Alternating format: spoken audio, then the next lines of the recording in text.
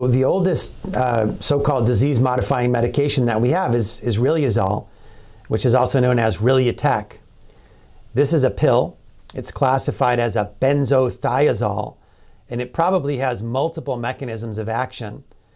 It is most obviously a glutamate antagonist.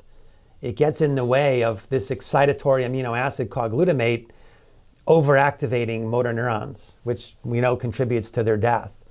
But it probably also has other mechanisms of action. For example, it may be a membrane stabilizer, meaning it may actually help motor neurons with a problem called hyperexcitability that we know they experience in this disease. Riluzole has been in many clinical trials and many real world studies. And just about every study that's ever been done has shown that people who take Riluzole live longer than people who don't. Now, a very common question that I get asked is exactly how much longer will I live if I take this?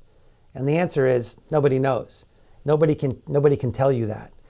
You know, the difference between the treatment group and the placebo or comparison group in clinical trials that have been done in real world studies ranges anywhere from two months to 19 months. So it's probably somewhere in there, the benefit that you'll get. But, but this is no different than like a blood pressure medicine. No doctor prescribes a blood pressure medicine for a patient and says, this will lower your pressure by exactly 13 millimeters mercury. We can't know that.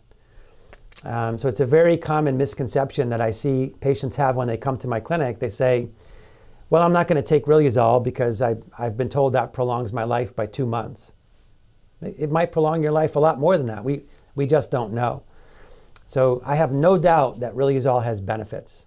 The benefits are it prolongs life. And as far as burdens go, generally these are low. It's a really easy thing for people to take. It's a pill. It's crushable. If people can't crush it or don't like to crush it, there's a liquid form of it.